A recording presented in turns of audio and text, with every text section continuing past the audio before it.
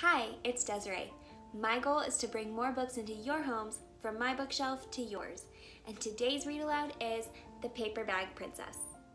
Elizabeth was a beautiful princess. She lived in a castle and had expensive princess clothes. She was going to marry a prince named Ronald. Unfortunately, a dragon smashed her castle, burned all of her clothes with his fiery breath, and carried off Prince Ronald. Elizabeth decided to chase the dragon and get Ronald back. She looked everywhere for something to wear, but the only thing she could find that was not burnt was a paper bag. So she put on the paper bag and followed the dragon. He was very easy to follow because he left a trail of burnt forest and horses' bones. Finally, Elizabeth came to the cave with a large door that had a huge knocker on it. She took hold of the knocker and banged on the door. The dragon stuck his nose out of the door and said, Well, a princess. I love to eat princesses, but I have already eaten a whole castle today. I'm very busy, dragon. Come back tomorrow. He slammed the door so fast Elizabeth almost got her nose caught.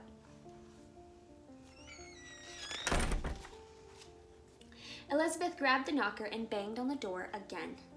The dragon stuck his nose out of the door and said, Go away. I love to eat princesses, but I've already eaten a whole castle today. I'm a very busy dragon.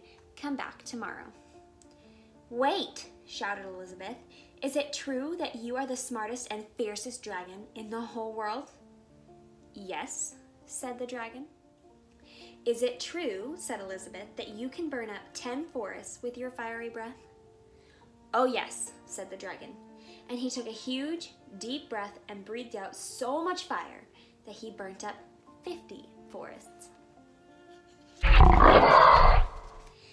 Fantastic, said Elizabeth. And the dragon took another huge breath and breathed out so much fire that he burnt up a hundred forests. Magnificent, said Elizabeth. And the dragon took another huge breath. But this time, nothing came out. The dragon didn't even have enough fire left to cook a meatball. Elizabeth said, Dragon, is it true that you can fly around the world in just 10 seconds? Why, yes, said the dragon, and jumped up and flew all the way around the world in just 10 seconds. He was very tired when he got back, but Elizabeth shouted, Fantastic! Do it again! So the dragon jumped up and flew around the world in just 20 seconds. When he got back, he was too tired to talk, and he lay down and went straight to sleep. Elizabeth whispered very softly, Hey, dragon! The dragon didn't move at all. She lifted up the dragon's ear and put her head right inside. She shouted as loud as she could, Hey, dragon!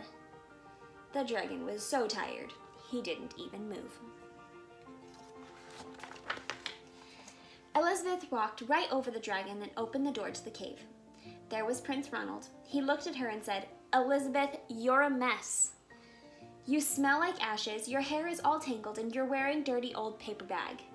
Come back when you're dressed like a real princess. Ronald, said Elizabeth, your clothes are really pretty and your hair is very neat. You look like a real prince, but you are a bum. And they didn't get married after all you liked this story as much as I did, give it a thumbs up by hitting the like button at the bottom of the screen. Subscribe to my channel and share these read alouds with your friends. Thanks again from my bookshelf to yours.